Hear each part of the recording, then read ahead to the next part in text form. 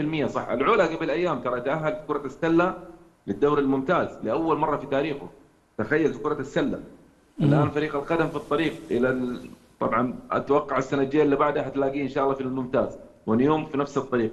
وبالتالي العمل هذا تخيل أنت الدوري الممتاز السعودي في الفرق هذه والقادسية طبعا السنة الجاية إن شاء الله حنشوفه آه، في الدوري الممتاز بال... بالإمكانيات الكبيرة والرعاية الكبيرة من أرامكو.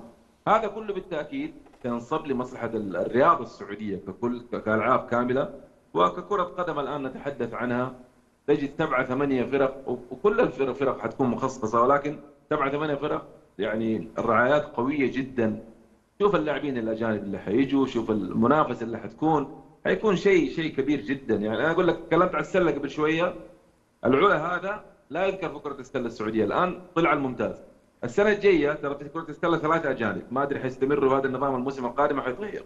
تخيل 100% حيجيبوا لك ثلاثة من ال NBA بالتأكيد لاعبين لعبوا في ال NBA يعني ما يكونوا أساسيين الآن في ال NBA طبعا صعب لكن لعبوا في ال NBA حتشوف متعة كرة سله على أعلى مستوى. كل هذا بالتأكيد ينصب في مصلحة الرياضة السعودية في مصلحة جودة الحياة تبوك والعلا. تصير مش مش بس كفكره سياحيه فعاليات لا رياضة أيضا الآن.